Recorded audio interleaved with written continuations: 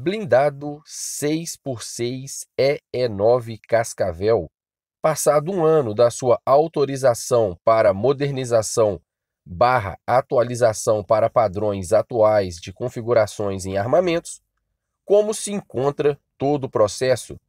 Bem-vindos a mais um vídeo do canal Geomilitar BR. Hoje vamos entender como está e como será então as modificações. Mas antes disso, peço você que deixe seu like, se inscreva no canal. Se você gosta dos canais militares, apoie-os, pois há aí um processo de diminuição das visualizações e muitos canais tendem a perder qualidade, pois precisamos do apoio de vocês para continuar prestando um serviço de maestria. Feito isso, muito obrigado e vamos lá. O blindado E9 Cascavel como muitos sabem, é um blindado antigo, fabricado lá na década de 70, já sofreu algumas modernizações com o passar dos anos, mas hoje encontra-se em estado obsoleto perante aos blindados mais modernos do mundo.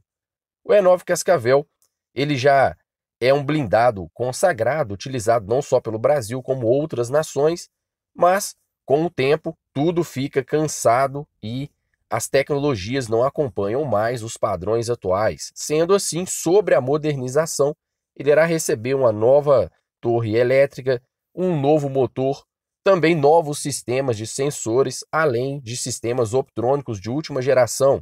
O mais importante será o acréscimo de mísseis anticarros modernos, aumentando então a capacidade do blindado. Esse blindado ele então terá uma sobrevida.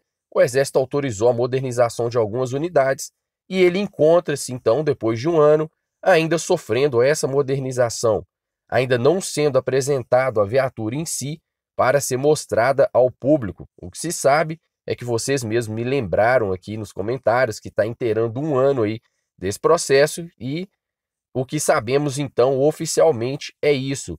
O blindado E9 Cascavel ele vai ser modernizado para um padrão mais próximos do que é utilizado atualmente mundo afora Sabemos que é um blindado que nunca chegará a um padrão de excelência no estado da arte, até por questão de blindagem, questão do tipo de canhão e do tipo de munição utilizado, mas sim terá aí um acréscimo interessante que pode servir o país juntamente com blindados mais modernos, como o próprio IFV que o Exército quer comprar e principalmente com apoio do pesado e bruto Centauro 2. Muito obrigado e valeu!